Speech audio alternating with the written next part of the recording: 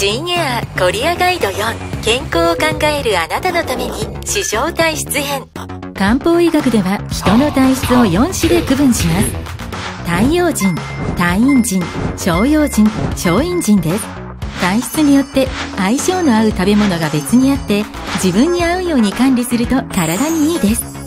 もっと詳しい情報が欲しければ韓国の漢方医院で正確な診断を受けることを推薦させていただきます。ジンエアーは乗客の皆様の安全な旅のために最善を尽くします。もっと楽しい韓国旅行をジンエアー。